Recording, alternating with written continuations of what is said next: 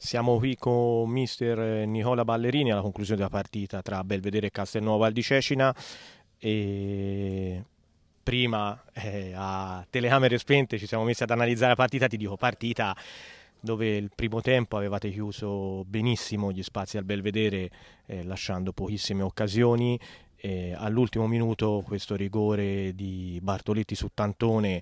eh, vi ha scombussolato un momento tutti i piani e al rientro la squadra è rimasta negli spogliatoi, diciamo, mm, e poi è venuto tutto il risultato finale di 7-0. Intanto buonasera, e sì, l'analisi è stata perfetta, praticamente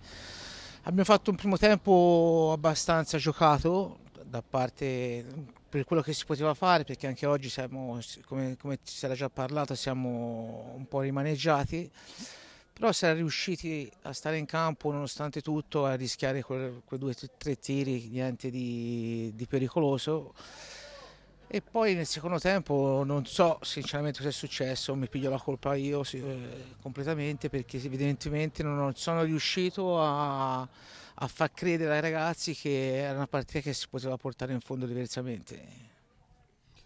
E io prima di tutto faccio i complimenti a te, alla tua squadra per il primo tempo e anche alla società perché so che fare calcio a Castelnuovo non è semplice visto la, la posizione geografica. E oggi le tante assenze Cannas, Grandoli, Ceccarini, eh, Lucarelli che è il capocannoniere della squadra eh, ti hanno portato a ridisegnare la formazione riposizionando giocatori in ruoli magari non abituali. E quindi tutto il massimo rispetto, però eh, un paio di assenze sono per squalifica e anche squalifiche lunghe. Questo eh, secondo me è una problematica negli spogliatoi va affrontata perché eh, poi ti condizionano non solo questa partita ma te ne hanno condizionate eh, alcune passate e saranno condizionanti anche per alcune future. Sì, quello, quello l'abbiamo già affrontato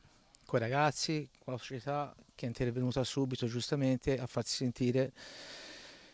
E poi le 5... Le, non sto qui, a, se no si starebbe qui tutta la sera a commentare le espulsioni su un fallo, 5 giornate, su un altro, su,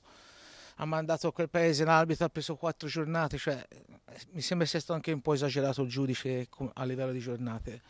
Ora abbiamo fatto ricorso, vediamo come se in settimana verrà discusso e però sì, questo, questo cioè, specialmente come ha detto bene te prima, siamo già in un paese che geograficamente si dura fatica a portare ragazzi e ci si mette con le squalifiche, poi ci metti in infortuni, tutte queste cose qui, arrivi la domenica poi sei costretto a mettere un difensore davanti o un attaccante a centrocampo e, e cercare di fare il più possibile. E devo essere sincero, fino all'altra domenica eh, questi ragazzi hanno avuto un comportamento eh, anche in campo a livello di carattere, di, di verbi, ci hanno messo tutto quello che hanno, hanno sempre lottato, sempre lottato. Infatti quello che ci sono rimasto male oggi più che altro è il secondo tempo, questo, questo mollare nel secondo tempo eh, che non mi è piaciuto non mi è piaciuto, ci può stare tutto, ci può stare perdere, ci può stare, ci può stare uscire fuori a prenderne 5, 6, ci può stare tutto, però bisogna uscirci con la testa alta e noi oggi non siamo usciti con la testa alta dal campo e questa me ne assumo tutta la mia responsabilità perché io sono quello che deve cercare di trasmettere ai ragazzi quel qualcosa in più quando siamo in difficoltà che evidentemente questa settimana non, sono, non ci sono riuscito. Io eh, ribadisco, rinnovo i miei complimenti e i miei auguri a tutto l'ambiente Castelnuovo Val di Cecina. Secondo me oggi è solo un incidente di percorso e